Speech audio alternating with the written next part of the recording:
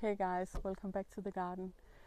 It's uh, lovely summer weather, mid-August uh, 2022 and um, in the mornings often I go out and then I'm just grazing in the food forest for breakfast.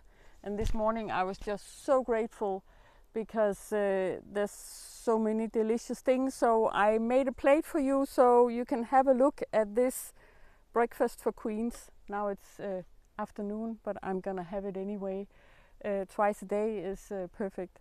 Um, of course, this is harvest time, and maybe you can hear the machines get around the, the area harvesting like crazy before the rain comes back.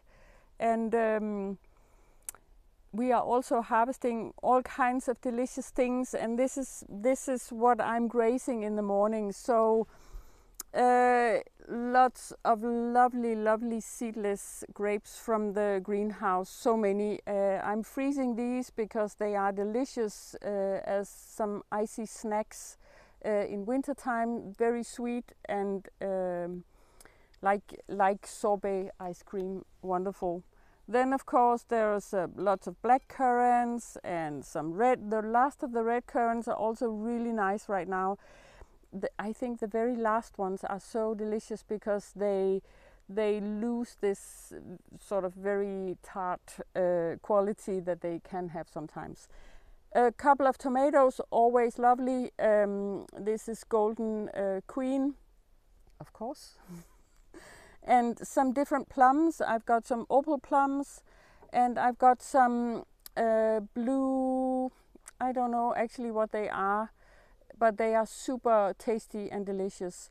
And then um, the figs are ready now, and this is such a joy to me. We have three different kinds of figs, and this one is uh, sultane. It's not the biggest one we have. We have another one, but it's not. It's the last one to ripen. So this one is sultane and uh, super sweet and delicious. It always ripens, no problem and this one is the usual suspect uh, brown turkey. I must say that I think the taste is comparable. I, uh, they are they are really delicious taste wise, but I kind of like the texture of the brown turkey better. But I'll take a fig any day, any kind.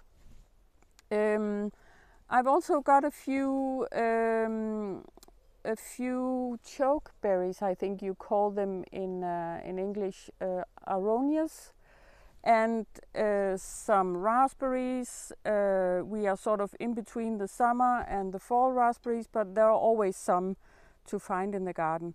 And then, of course, blackberries, blackberries. Right now we have Bonanza blackberry, and they're so delicious. Uh, and some of the last ones are now the, mm, hang on, let me see what I can find. These are the sea buckthorn and these one berry has as much vitamin C as uh, a whole lemon. So I have a, a, couple of these every day and that should cover me nicely for C vitamins. And uh, then we have the last ones here are I know that one of the, the ethical principles in permaculture is sharing. I never share these. These are the best mulberries. You see, they are so juicy and delicious. And sometimes I don't even tell my family when they ripen because I want them all to myself. It's it's not it's not a nice feature, but I'm I have to admit. And also we have a few of the white mulberries left. These are not juicy at all, but they're very sweet and taste uh, tasty. They they are sort of vanilla sweet, uh, lovely but these are my favorites. And um, to top it up, sometimes it's a lot of uh, acidity, I think. So sometimes I take a couple of cucumbers if I have space in my belly. I take a couple of uh, crystal lemon cucumbers because they sort of ease things up a bit.